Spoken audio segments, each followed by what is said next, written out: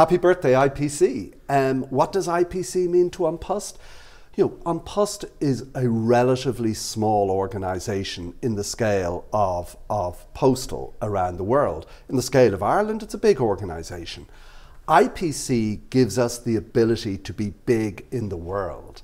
Um, it allows us to benefit from the great postal organizations. We're here in Bonn in, with Deutsche Post, and I've learned so much from, from just the 24 hours I've been here so far. That's what IPC does. I learn from the smaller countries as well. I learn, so all the time we can share best practice. IPC does that better than anybody. It also provides us with that framework to be part of the global ecosystem.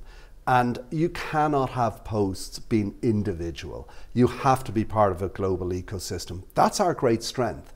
And that's what IPC brings.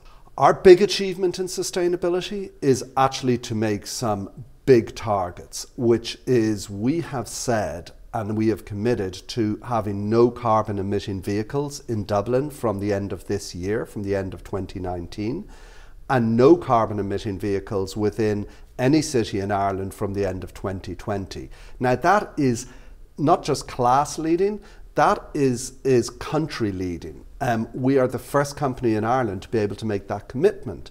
And one of the things that I'm really struck by uh, the IPC sustainability program is really postal is a world leader in this. We need to shout about that more. We need to be clear about it because it gives us a huge relevance as we move forward into a new world.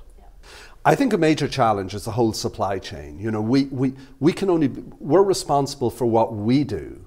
The issue is, what about the supply chain that comes into us? How do we work, how do we work with e-tailers to make sure that the sustainability is working all the way through. You know, essentially we are delivering e-commerce to consumers. We are the front end of e-commerce.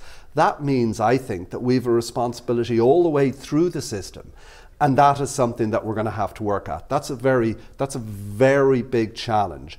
I think the other challenge we have is to make sure that it's visible what we are doing, to make sure that it's clear that postal is the leader, not a leader, but the leader in sustainability in industry in this world. And that gives us the relevance for the future.